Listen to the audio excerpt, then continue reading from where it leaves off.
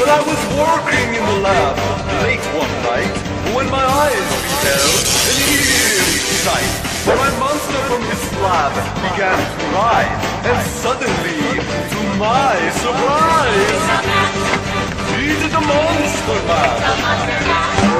It was a graveyard smash. It caught on in a flash. He did the monster mash from my laboratory the castle east to the master bedroom where the vampires feast. The ghouls all came from their humble abode get a choke from my electrode.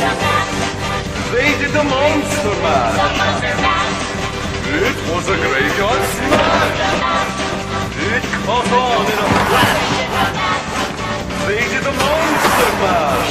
Terror filled the countryside, and my master's fearsome reputation spread.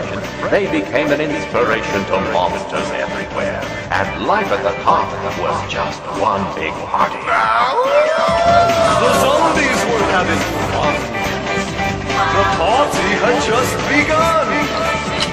The guests included Wolfman, Dracula, and his son. The scene was rocking while we're digging the sound. Igor on chains back by his babe hound. The coffin bangers were about to live with their vocal group, the Cryptic of Five. They played the Monster Mash. It was a graveyard smash. It caught on in a flash.